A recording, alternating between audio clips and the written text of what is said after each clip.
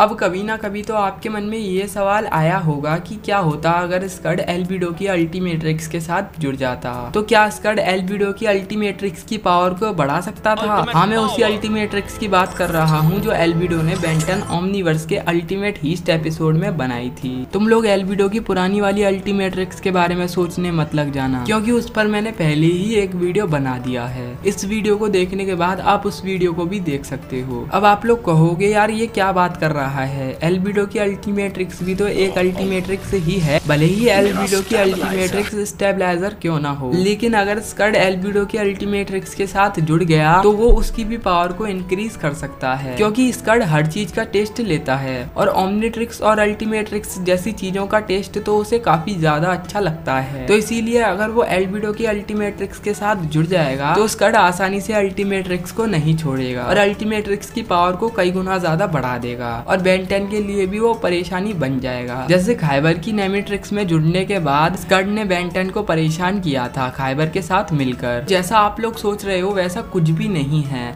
अगर स्कड एलबीडो की अल्टीमेट्रिक्स के साथ जुड़ जाएगा तो वो उसके लिए अच्छी बात नहीं होगी। क्योंकि बेंटन के क्रिएटर्स ने खुद बताया है कि अगर स्कड एलबीडो की अल्टीमेट्रिक्स के साथ जुड़ गया तो वो उसके लिए जंक फ़ूड की तरह होगी। अब जंक फ़ूड का नाम तो आपने सुना ही होगा। जब हम बाहर का खाना खाते हैं तो हमारे पेरेंट्स हमसे यही कहते हैं कि जंक फ़ूड मत खाया करो, वरना बीमार पड़ जाओगे। तो जंक फ़ूड का मतलब बाहर का खाना नहीं है। जंक फ़ूड का मतलब होता है जो हमारे पेट के लिए हानिकारक हो, यानी कि हमारी सेहत के लिए हानिकारक। तो अगर स्कड एलबीडो की अल्टीमेट्रिक्स के साथ जुड़ भी गया तो वो एलबीडो की कोई भी पावर को इंक्रीज नहीं कर सकता। हालाँकि बेंटन के क्रिएटर्स ने ये नहीं बताया कि एलबीडो के साथ अगर स्कड जुड़ गया तो क्या होगा, लेकिन बेंटन के क्रिएटर्स ने ये बताया है कि अगर स्कड एलबीडो की अल्टीमेट्रिक्स के साथ जुड़ गया तो वो उसके लिए टेस्टी खाना नहीं होगा, बल्कि जंक फ़ूड होगा। और जंक फ़ूड का मतलब तो मैंने आपको बता ही दिया है। तो इसीलिए कभी स्कड एलबीडो की अल्टीमेट्रिक्स के साथ जुड़ना ही नहीं चाहेगा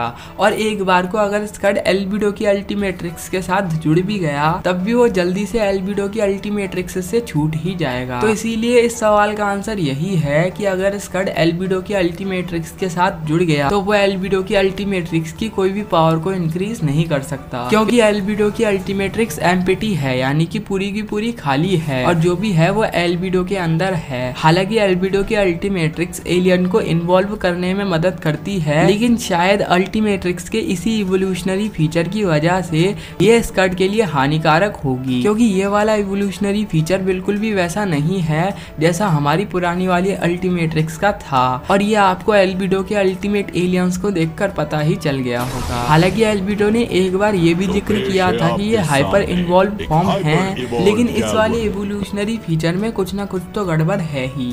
तो इसीलिए ये स्कर्ट के लिए हानिकारक है। तो खैर, अब आपको जवाब मिल ही गया होगा कि अगर स्कड एल्बिडो के अल्टीमेट्रिक्स के साथ जुड़ जाएगा तो ना ही एल्बिडो का फ़ायदा होगा, क्योंकि स्कड एल्बिडो के लिए कोई भी अल्टीमेट फॉर्म का हाथ या पैर या फिर कोई भी बॉडी पार्ट नहीं ला सकता, और ना ही किसी भी एलियन का बॉडी पार्ट ला सकता। तो बस आज की इस वीडियो में इतना ही। अगर वीडियो पसंद आई हो तो वीडियो को लाइक कर दो, चैनल को सब्सक्राइब करके बेल आइकन को प्रेस कर दो, और अपने दोस्तों के साथ भी इस वीडियो को शेयर कर देना।